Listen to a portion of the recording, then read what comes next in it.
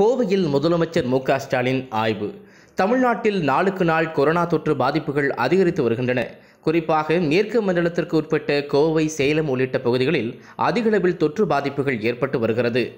இந்நிலையில் கொரோனா தடுப்பு பணிகள் குறித்து சேலம் மாவட்டத்தில் முதலமைச்சர் மு ஸ்டாலின் ஆய்வு மேற்கொண்டார். இதையடுத்து திருப்பூரில் நடைபெற்ற நிகழ்ச்சியில் பங்கேற்ற ஸ்டாலின் பதினெட்டு வயதிற்கும் மேற்பட்டோருக்கு தடுப்பூசி போடும் பணிகளை துவக்கி வைத்தார். இதனைத் தொடர்ந்து கோவைக்கு வருகை தந்த மு ஸ்டாலின் பந்தய சாலை பகுதியில் உள்ள அரசினர் விருந்தினர் மாளிகையில் தொழில் துறையினருடன் கலந்துரையாடல் நிகழ்ச்சியில் பங்கேற்றார். அப்போது முதலமைச்சரின் நிவாரண நிதிக்கு தொழிலதிபர்கள் நிதியுதவி வழங்கினர். இதன் பின்னர் கொடிசியா அரங்கத்தில் கூடுதல் படுக்கை வசதிகளுடன் ஏற்படுத்தப்பட்டுள்ள கொரோனா சிகிச்சை மையத்தை முதலமைச்சர் நேரில் பார்வையிட்டார்.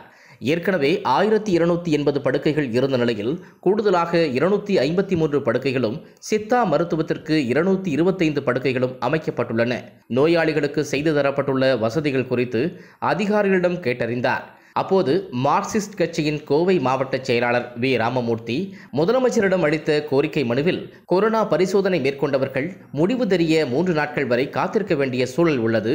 சில மணி நேரங்களிலேயே முடிவுகளை தெரிந்து கொள்ளும் விதமாக பரிசோதனை ஆய்வுக்கூடங்களை அதிகரிக்க வேண்டும் என்றும் கொரோனா சிகிச்சை மையங்களில் தற்காலிக கட்டுப்பாட்டு அறை அமைத்து சிகிச்சை பெறுபவர்கள் உடல்நிலை குறித்து அறிவிக்கும் ஏற்பாடுகளை செய்ய வேண்டும் என்றும் கோரிக்கை வைத்தார். இதேபோன்று முதுநிலை மருத்துவ மாணவிகள் உதவித்தொகையை அதிகரித்து வழங்குமாறு முதலமைச்சரிடம் கோரிக்கை மனு அளித்தனர். இதேபோல தொழில்துறையினரும் தங்களது கோரிக்கை மனுக்களை ஸ்டாலினிடம் வழங்கினர். இதன் பின்னர் சரவணப்பட்டி பகுதியில் உள்ள குமரகுரு கல்லூரியில் அமைக்கப்பட்டுள்ள கொரோனா சிகிச்சை மையத்தில் முதலமைச்சர் ஸ்டாலின் ஆய்வு செய்தார். முதலமைச்சரின் இந்த ஆய்வின் போது சுகாதாரத்துறை அமைச்சர் மா. சுப்பிரமணியம் மின்சாரத்துறை அமைச்சர் செந்தில் பாலாஜி உள்ளிட்ட அமைச்சர் பெருமக்கள் பலர் உடன் இருந்தனர்.